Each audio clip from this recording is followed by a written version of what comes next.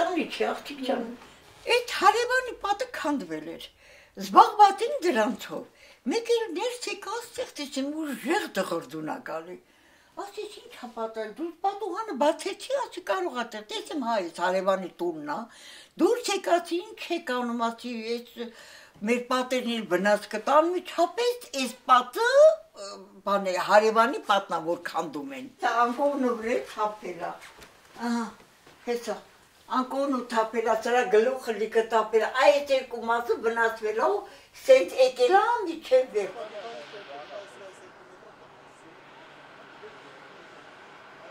Մեր բախտը վերից, որ այսօր աշխատանքի չգնացին։ Եթե աշխատանքի գնային, մեր տունը հիմա չէր լինի։ Անկեղծ եմ ասում։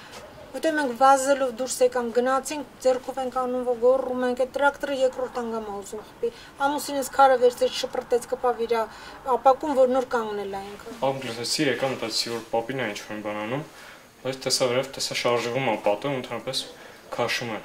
Նախ իրանք պարտավոր են մեզ նախազգուշացնելու։ Ես չգիտեմ իրանք թույլատվություն ունեն այդ մակրման աշխատանքները կատարելու։ Չունեն։ Մեզ տեղյակ պահեն, որ մակրման աշխատանքներ են կանում։ Կառուցապատողներին անձամբ զանգել են, բայց չեն երևացել։ Անձամբ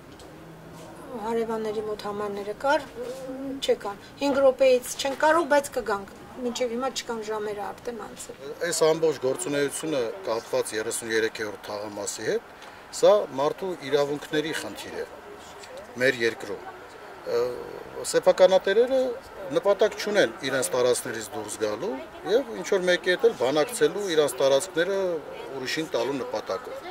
Երբ որ մեր երկրում իրավական խնդիրը լուծվի, մշակութային բոլոր խնդիրները կլուծվի, որովհետև մշակույթը ինքը ստեղծվում է նույն այդ մարդու ձեռքով, որը պետքա իրավական պետության մեջ ապրի եւ ստեղծի իր մշակույթը։